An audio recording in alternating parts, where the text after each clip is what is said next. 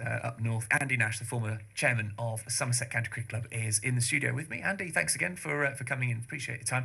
Uh, let's talk about the future of, in particular, county cricket. We know this 100 ball tournament is coming in. This is something that the ECB has planned. It's different to T20. It's shorter, so instead of 120 balls each way, it's just 100 balls. What impact do you think this tournament will have? Well, potentially it's a disastrous impact, and that just isn't my view. You've seen the strength of feeling against it, which is almost universal from the loyal fans who are being told they're not needed, uh, to you know almost every uh, cricket journalist who's come out in uh, in in some way, shape, or form um, against it. You said, just to pick you up on the loyal fans thing there. So this has come from a quote where, where the ECB said they were looking for a new set of fans that this this new tournament was with new teams, not the traditional counties, and that they weren't aiming it towards the traditional county supporters. Yeah, well, it, it's not uh, it's not good business practice to slap your loyal fans in the face and tell them they're not wanted. And one of the problems with this is that the uh, traditional three formats of the game uh, will be moved to the margins of the season. This tournament is planned to squat in the mid in July and August. Uh, at eight test match grounds, and uh, the rest of the game is going to miss out. But I would actually put it more positively than that, which is that we're missing, and you know, cricket's really under pressure, as is soccer, as is uh, both forms of rugby, to other leisure pursuits. Uh, and none more so than you know online gaming, for mm. example. Um, cricket has four heaven sent opportunities at the moment. You've got the Blast with a million fans uh, attending. Uh, it's really working. The 50 over game, where we are the reigning world champions in the women's game, and we're, we're hosting the World Cup next year. And we've spent the last 10 years trying to make sure we win it. We are now the world number one in the ODI format. Um, the championship, since streaming has been launched, an innovation led by Somerset, happy to say, um, we've seen astonishing numbers following the county championship. It's a sleeping giant.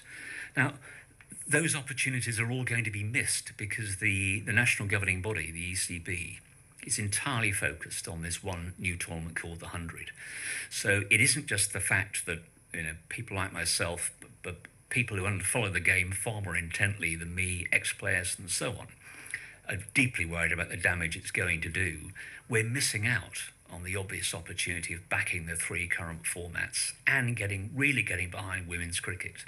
You know, these are once in a generation opportunities that the game is going to miss because it's got its ladder up against the wrong wall. Well, the ECB has, um, has said the reason it's trying to bring this in is because it sees an opportunity for a, uh, a boost in funding. But part of this deal with the, this new tournament is a 1.1 billion billion pound deal. I mean, that is such a lot of money for cricket, isn't it? I know football's been up there and around and much higher than that for a long old time now. But for cricket, 1.1 billion is unheard of, isn't it? With this broadcasting deal that will last for five years. I have to, I have to just step in there and say how much of that 1.1 billion is being paid for the new competition, the 130 something million. That's all. So they're paying for the T20. They're paying for the T20. They're paying for the England uh, Test matches. They're paying for the uh, the rights for county championship, and they're paying for ODIs uh, and the 50. But they feel that this will attract this. Just a quote from the ECB: attract a wider audience. So they're looking to reach out to non-cricket fans, which sort of we, we touched on earlier.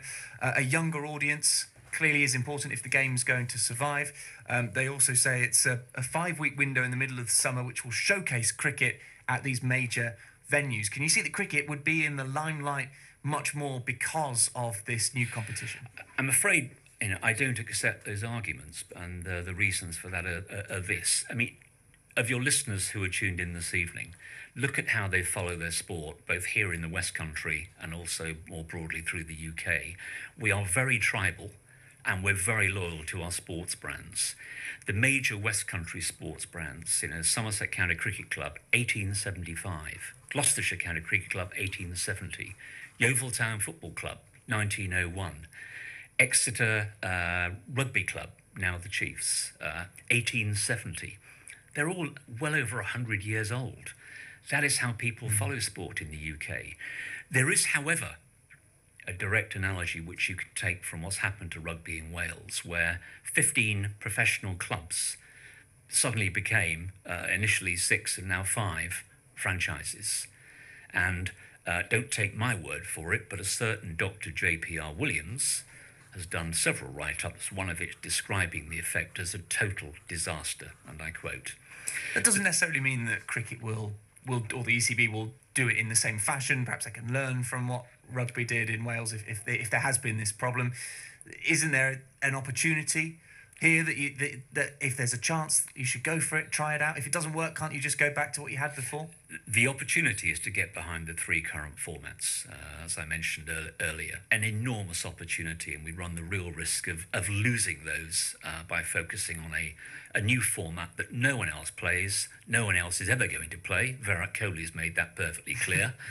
and there is no evidence whatsoever to support the view that this is going to recruit new fans to cricket. The evidence is to the contrary. It hasn't worked in other major sports, and the evidence is it may well drive existing fans away from cricket. So um, I think it's a uh, it's a you know, some serious mistakes are being made in the assumptions as to what it might achieve.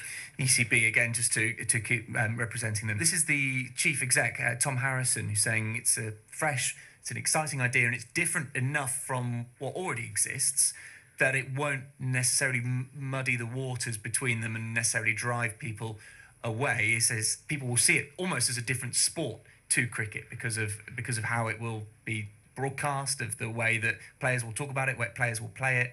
Do you feel that that actually it's so different that it doesn't matter necessarily if it goes wrong? It's cricket's going to be. I'll tell you. I'll tell you why why it matters, Charlie. Because let's take the case of a Test match ground, and we'll pick. We'll just let's just pick on Surrey uh, who are a particularly powerful one and they're reigning champions.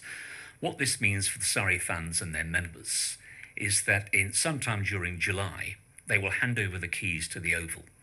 The players, the coaching staff, and the management will all vacate the Oval and hand over to a new a new team who are representing a, a new brand, and they will decamp to Guildford, and that's where they will play their cricket for a six or probably seven week period.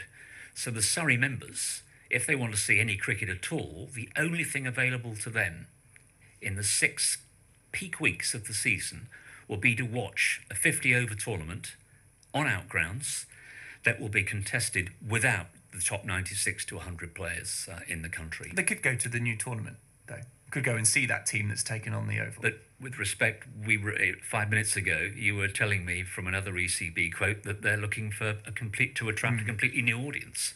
And uh, but that's look. This isn't just my view. Whether you look at what Vic Marks or Scyld Berry, uh, Matthew Engel, um, uh, Paul Newman. I mean, they have all come out with really hard hitting criticism of what an existential threat this is to the domestic game uh, here in England and Wales. So let's let's take a, a, hypothetical situation now that it does come in, which it almost certainly will do now. We're at we're at a point where it's almost no going back, isn't there? Would you would you agree with that? No, I don't agree with that at all. Do, the, the, realistically, the, do you think the point of no return will be when the fixture list is right. issued for 2020, and that'll happen in November next year. Don't you think there's an, the ball is rolling enough? The ECB are um, so likely to continue with this. Let me give you a very powerful reason why I think that isn't necessarily the case. Um, the most important role of any director or trustee for the organisation or company that they represent is to do no harm. If you are planning what is a very high risk uh, venture, and it would be impossible to argue that the 100 is not a high risk venture, but given the vast weight of evidence and criticism of it thus far, so you have to assume it's high risk. You're going to have to carry out a full risk assurance uh, process. Now, that means unleashing somebody at the scale of a PwC, Deloitte's KPMG, in probably a study costing quarter to half a 1000000 mm-hmm. pounds, to identify the risks, to quantify those risks, and to come up with plans to mitigate them. And at the moment, I don't believe, and neither do a great deal of other people currently in cricket administration and within the media following cricket, that those risks can be satisfactorily mitigated because and let me just give you uh, two that spring to mind. If the blast is cannibalized, because the blast is going to have to move to the front of the season, and it won't be played in a block, it'll be interspersed amongst county championship matches, so you won't be get attracting marquee players. Early season, weather's going to be different. So you're not going to be getting balmy June evenings at the county ground, you know, with with uh, ten thousand people rammed in. Attendances are going to fall. If the the blast is the single biggest contributor of the counties in terms of maintaining their financial well-being, if the blast is cannibalised, all of the counties are going to be in financial difficulty. And while we're on the subject of finance, we've now seen the ECB have to admit that the costs of the 100 have already tripled to 40 million. It's not going to make any money at all in the first year or two. And you, you have to say, you know, compared again to the low risk alternatives, you know, why does it make sense? So, in summary, the risk assurance will have to be carried out because if you don't do that when you're running a national governing body or a major company, you know, it's the equivalent of jumping out of an aircraft without a parachute on mm. and hoping for the best. So they will have to carry out that exercise, and I think it'll be an enormous challenge for the tournament, such as it currently is, uh, to be able to pass muster against those uh, potential problems. Okay, so potentially we might see changes come in in the next um, year. We'll see what what happens with that. They'll have to uh, to work that out for themselves. But you were in a position within the ECB where you, you could have had a, a say on this. You resigned actually over partly this, partly to do with, with different finances as well. We won't go into that necessarily tonight. It's a slightly different story. But you resigned mm. over the way the ECB was being run, really. Uh, do you not think it would have been a stronger position to be within that board and having what you're saying to me tonight and being able to say that to the director and the, and the chairman? Well, I was within the board for uh, between five and six years, so I gave it a pretty good go. Uh, I, I, hardly bailed out at the first whiff mm. of cordite, uh, and indeed served the game for 14 years in total. So, you know, for the va- most part, you know, really enjoyed it. There are challenging times. But, but haven't uh, you come out of it just at the key moment? You're telling me all these reasons why the 100 is a bad thing for the sport. You, you've come out of it just at this point where the ECB would would need someone to, to be that voice of what you would call reason to, to say, actually, no, hang on a minute, let's not spend all this money and risk everything? I think there are voices within ECB who are saying much the same as me. Okay. I know there are. Um, I now feel I can be uh, a more passionate advocate for another way of running the game, being outside the ECB rather than inside it. And uh, you know, the, cricket is a very fast-flowing river. You know, things will change. Um, and you know, there are other other people like myself who've served the game for a very long time, who would be happy to do so again in the future if the opportunity arose. We'll see. What uh, say it does go uh, well at the 100 ball competition. It's a success. People go to it. Players are attracted to it. What is the worst situation you see for county cricket in that situation? Won't they just get the benefits of all that money coming into the game? They've been promised more than a million pounds each, all of the 18 counties. So, isn't that a good thing, all that money? No, uh, it's not a good. If it's this is the problem with it. Even if it succeeds, it's going to end in disaster for the uh, the smaller counties like Somerset. Why? Um, because only eight grounds uh, uh, are going to feature. Um, they are going to drive a, uh, an, a, a very disproportionate share of the revenue of the competition for hosting it, and you can't blame them for that. Um, but the 10 of the 18 grounds will not be hosts. And do you think that that will always be the case? They'll only ever focus on these same eight grounds? Yes, because if you look at what uh, what's happening in Australia and, and India, uh, it, they're basing these type of tournaments around the uh, you know the major urban mm. centres. Which you know it makes so, sense, doesn't it, to have it I in mean, the biggest place? Take the BBC. I mean, you are a regional organisation. You are going to be participating with free to air coverage, which on the face of it sounds great, except here in the West Country, where you three regions, not one of them will see a single 100 host a single 100 fixture. So you know, the furthest west in the south of England that this tournament will go is Southampton. So the whole of the southwest peninsula will, will see no 100 whatsoever. And here's the problem the eight hosts will become wealthier, bigger, and more powerful, and that the agents will see that, the players will see that, they'll act as a magnet for talent. And I think the evidence suggests what will happen to the professional game in, in uh, England and Wales is that we won't sustain 18 counties. So the smaller counties, the non test match grounds, I fear in that situation will face a, a semi professional future because no matter what money is come, comes in, you may as well pay Somerset double that amount of money and just, just concrete over the square and turn it into a car park because the, we won't have the cricket to host. Fans would keep going though to Somerset, wouldn't they? There's enough of a of a group support in Somerset to keep supporting Championship and T20s, even without the the major players. So, on the current schedule, as we understand it, yes, there will be Championship cricket, albeit many people are unhappy about the new asymmetric plan of that, and you will, you'll no longer play each side twice in the first division, so the integrity has been compromised. The blast won't be you know the force it is at the moment taking place peak season to sellouts it'll move to the front of the season and will be played in and amongst the county championship. The 50 is completely defenestrated. It becomes a semi-professional basically tournament played alongside the 100 that is the only cricket that will be available for somerset members uh, in the peak season. That's it.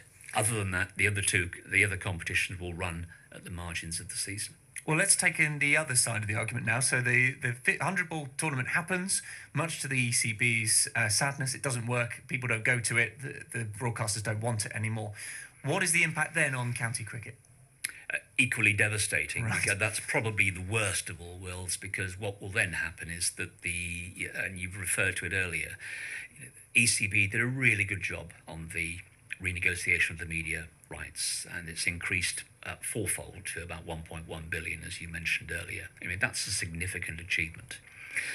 The problem is, and we've seen this again in other sports, uh, that was a result of, of Sky competing with BT.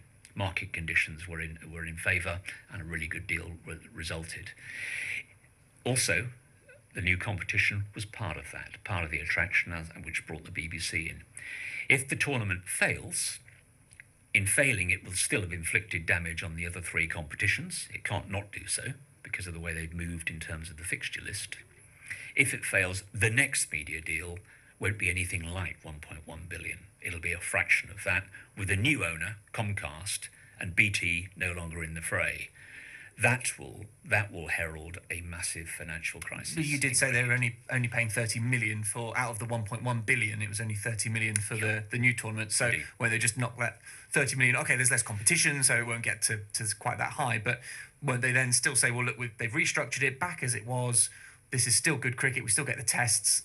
There's there's still a good deal to be done there for cricket, even if it fails. We will be dealing with Comcast, who are a, uh, a you know a global American owned global corporation, they are going to use every means at their disposal to increase uh, value from their own point of view, and they won't have BT bidding head to head against them.